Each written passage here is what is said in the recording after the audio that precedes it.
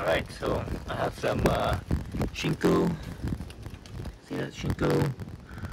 Uh, these are the 241s, I believe. Shinko 241s. Size, uh, see that? Size 2, 2 and 3 quarters by 17. 2 and 3 quarters by 17. So Shinko, and you go on the website, Shinko says to, that this tire, it says uh, not for extended highway use. And I just came back from work uh, in a 40 mile commute. Well, it cooled down enough already. So, so basically the center here, and this tire is brand new. I just put in, and you see how worn the center is already just on one ride. Uh, and the, the center here is like really soft because it was, you know, from from the pavement. And over here on the side, it's a lot harder. Um, so yeah, so definitely this this tire is not for um, not for highway use for sure. Uh, at least not long, you know, least not on my commute, you know, 40 miles on the uh, on the pavement, anyways. So I don't see these tires gonna be lasting very long if I keep on doing that. They kind of shredded too. Actually, this uh, this knob on the bottom here, all of them looks like all kind of shredded. That's from let's see, that's from braking. Because if you're going, if you're, if you're driving, I mean this edge up here, this is the uh, biting edge.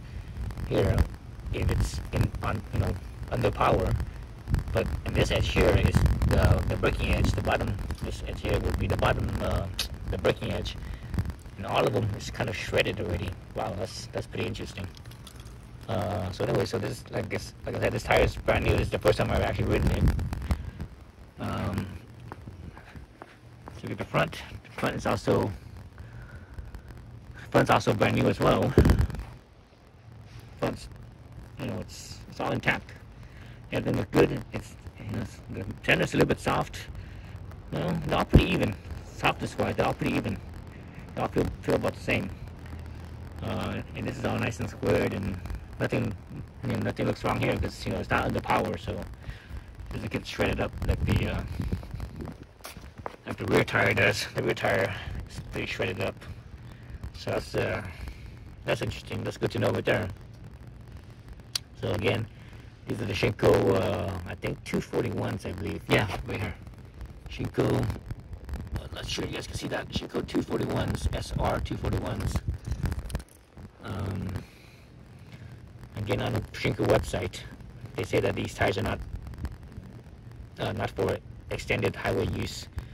So say not too long on the road, or or you do or do go on the road. You have to basically go slow. You can't go fast. And, you know, this bike is pretty slow. It's not that fast, but I was doing uh, you know 45, 50 or so miles an hour, up to like 50. Actually, I got up to like 58 or 59 indicated going down the going down the hill, steep hill.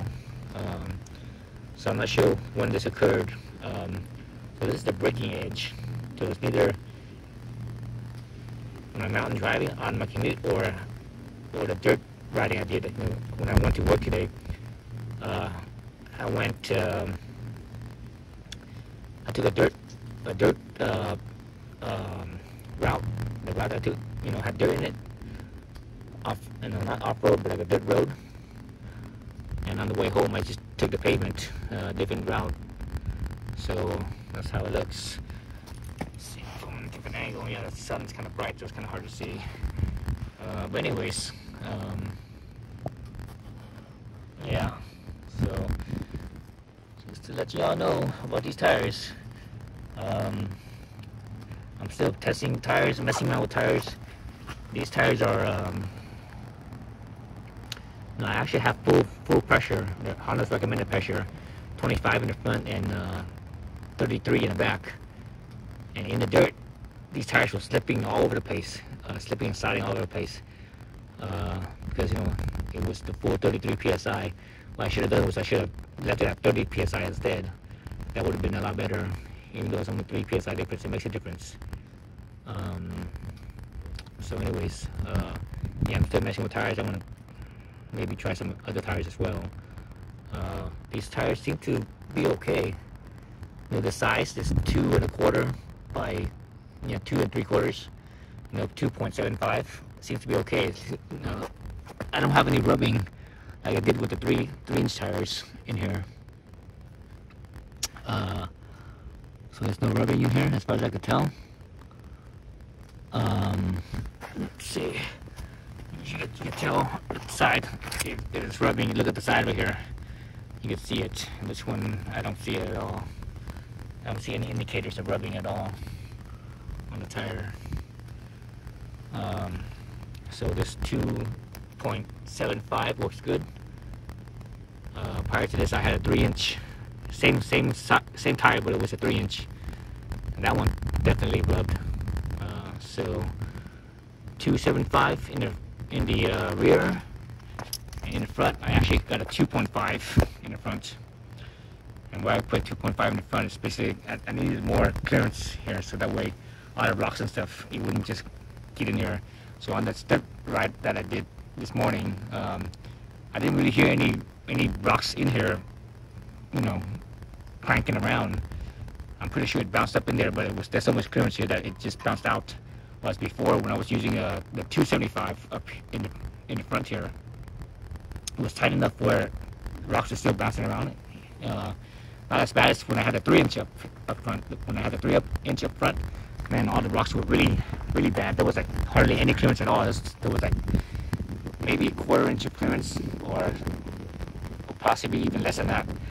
And rocks would just go in there and, and you hear the, know, the as the rocks went through, you hear the, you know, the grinding sound.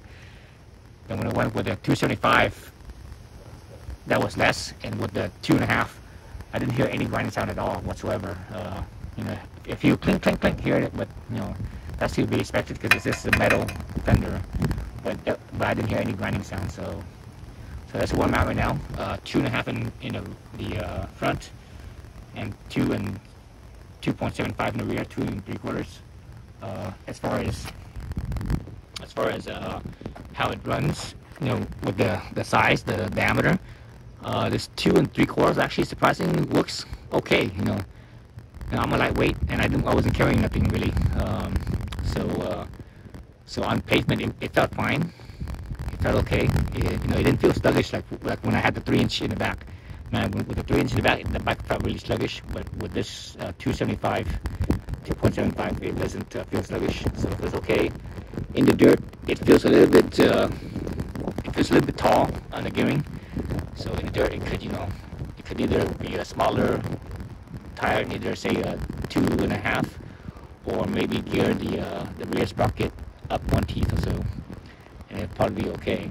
Um, forgot what the teeth spec was on this. I think it was a 39. The stock size is, I believe, a 39 teeth. But anyways, um, uh, yeah. So, so the setup so far, this setup is the best uh, tire setup I, I have so far compared to all the other ones I've tried as far as sizing goes.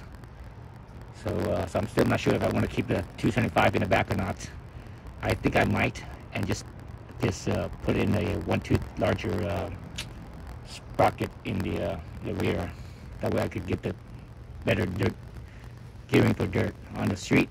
The way it is right now, it feels fine. Feels okay. Nothing wrong with it. Dirt, again, it's a little bit on the tall side. Um, so yeah, that's uh, that's the update for now. I need to start doing other stuff to this bike, adding because I have a bunch of stuff like auxiliary lights and all this other stuff.